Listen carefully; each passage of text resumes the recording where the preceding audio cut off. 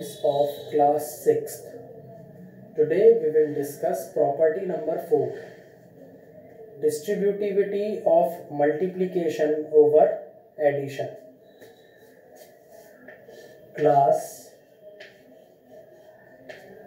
6 Chapter 2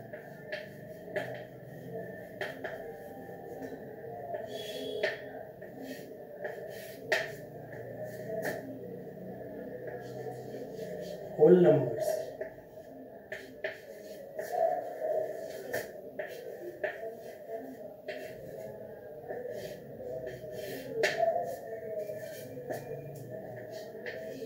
Property 4. Property 4 is distributivity. Distributivity A of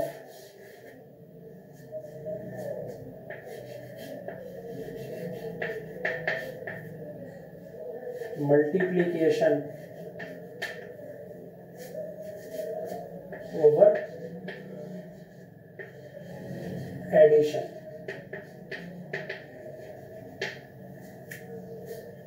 okay students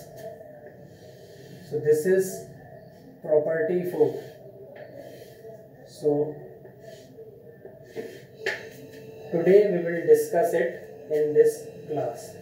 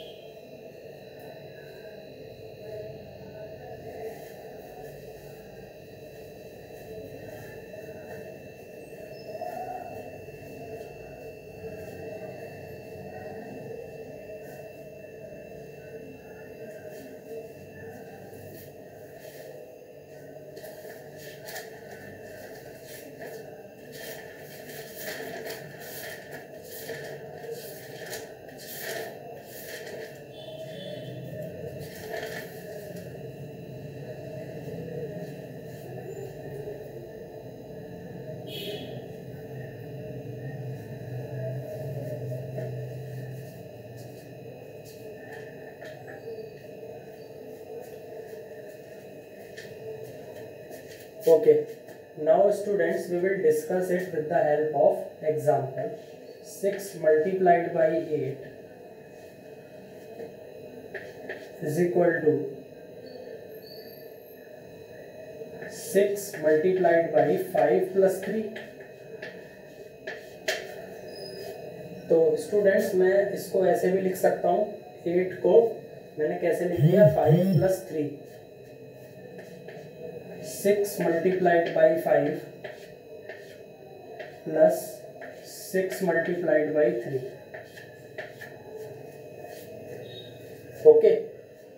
and six multiplied by eight जो मैंने लिखा है ये कैसे लिखा जाएगा six multiplied by five plus three is equal to six multiplied by five plus 6 multiplied by 3. Okay students, so this is your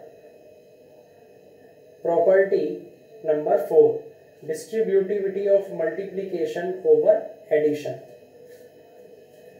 So in this property, A is equal to 6, B is equal to 5,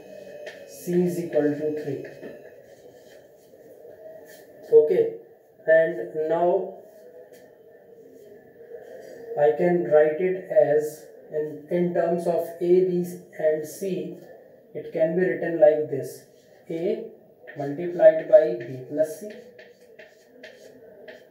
is equal to A multiplied by B plus A multiplied by C okay so please write down this line, this last line. It is quite important. This this property is called as distributivity of multiplication over addition. Now I will take one more example and I will tell you students that how to implement distributivity in that example okay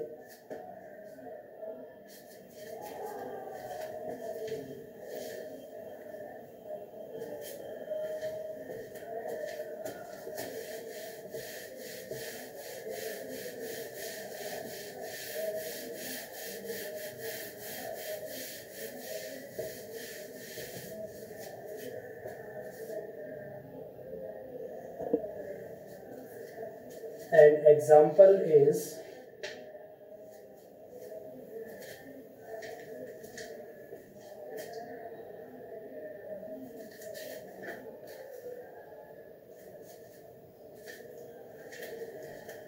example is 12 multiplied by 35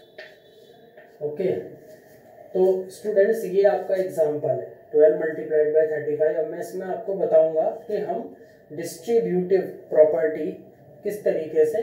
implement करेंगे तो सबसे पहले students हमें किस पे focus करना है इस वाले नंबर पे इस नंबर को ये नंबर क्या है थर्टी फाइव तो इस नंबर को आप किस तरीके से स्प्लिट कर सकते हो ट्वेल्व मल्टीप्लाई इसको मैं ऐसे भी लिख सकता हूँ थर्टी प्लस फाइव ओके तो थर्टी फाइव प्लस फाइव जैसे ही मैंने इसको लिख दिया तो यहाँ पर फिर आपको सेकंड स्टेप में लिखना है according to to the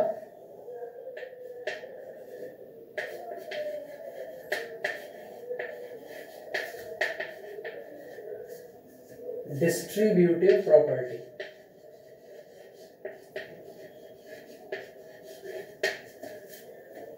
तो ये जो आया है स्टूडेंट्स ये वाला जो स्टेप आया है ये डिस्ट्रीब्यूटिव प्रॉपर्टी की वजह से आया है ओके तो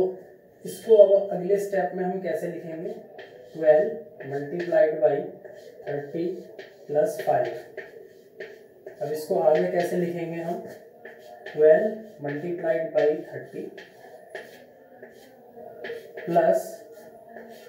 twelve multiplied by five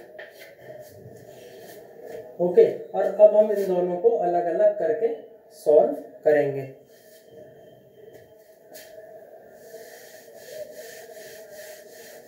तो ये मैंने कौन सी फॉर्म बना दी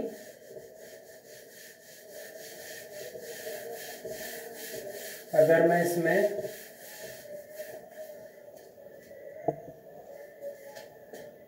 ए को ले लू क्या ट्वेल्व बी को क्या ले लू थर्टी सी को क्या ले लू फाइव तो इसमें मेरी अब ये क्या फॉर्म बन गई एक बार आप देखिए बोर्ड पे सही से A multiplied by B plus C is equal to A multiplied by B plus A multiplied by C ठीक है तो ये हमारी क्या बन गई ये क्या बन गई हमारी वही वाली जो मैंने स्टार्टिंग में बताया था ये वही फॉर्म बन गई this is called as distributive distributivity of multiplication over addition तो अब इसको हम अलग अलग करके सॉल्व करेंगे तो हमारा स्टेप था ये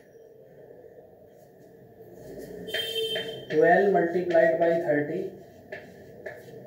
plus twelve multiplied by five twelve three ज़ा थर्टी सिक्स यानी कि three sixty plus twelve five ज सिक्सटी और जब इन दोनों को ऐड कर देंगे it becomes four twenty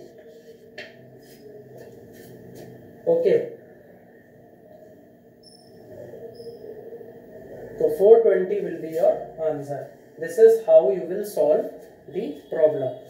please write down this example and this is the solution of this example please write down in your rough notebooks or in mathematics notebooks. Okay. So this property is called as distributivity of multiplication over addition. This is how you will solve an example with the help of force property